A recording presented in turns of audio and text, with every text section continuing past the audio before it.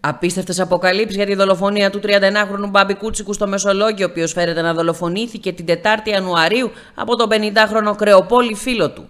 Το στίγμα του κινήτου του 50χρονου Κρεοπόλη εντοπίστηκε στο σημείο της δολοφονίας. Αυτό που προκύπτει ωστόσο είναι και η εμπλοκή άλλων ατόμων, ενώ μέσα στο επόμενο διάστημα η ανακρίτρια θα καλέσει αρκετά πρόσωπα για κατάθεση. Παράλληλα, σύμφωνα με το ρεπορτάζ, ο Μπάμπης δέχτηκε πυροβολισμό πισόπλατα από απόσταση 5 μέτρων, δηλαδή δεν υπήρξε ποτέ μάχη σώμα με σώμα ανάμεσα στους δύο άνδρες. Έχουμε συνέχεια από το γαϊτανάκι στα ψεύδη του Κρεοπόλη. Η άρση απορρίτου μας δίνει ένα ακόμα όπλο για να δείξουμε πως ο Κρεοπόλης λέει μόνο ψέματα.